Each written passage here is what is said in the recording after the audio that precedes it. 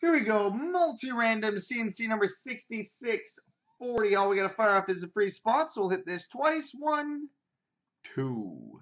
Quite something. So there we go, boys and girls.